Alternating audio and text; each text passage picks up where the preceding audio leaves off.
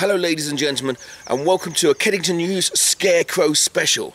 Yes, a special episode because last episode there's a particular event I forgot to mention, and whereas it is happening after the next episode comes out in June during Meadowlark Week, the Kedington Meadowlark Scarecrow competition needs entries to be in by May 20th. So this is a special episode to tell you about it.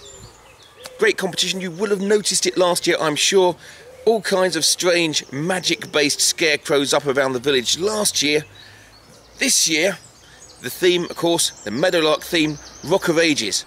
Competition very simple. Make a scarecrow based on that theme, Rock of Ages. Entirely your interpretation. Thing is, to enter, you need to get an entry form from either the Nisa store or Kedington Butchers and get it back to Matt Garwood, whose details are on the form, by May 20th.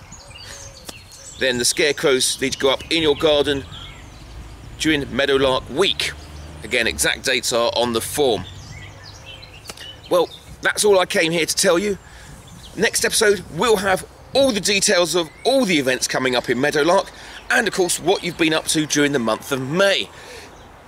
I will see you then, and if you want to see that episode, subscribe to this YouTube channel or go to kedingtonnews.co.uk or uh, there's a link to my Facebook page there and you can add me on Facebook from that as well.